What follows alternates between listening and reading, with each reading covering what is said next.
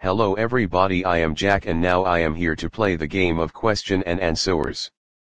Do you ready Mary? Yes, I am ready. Let us start.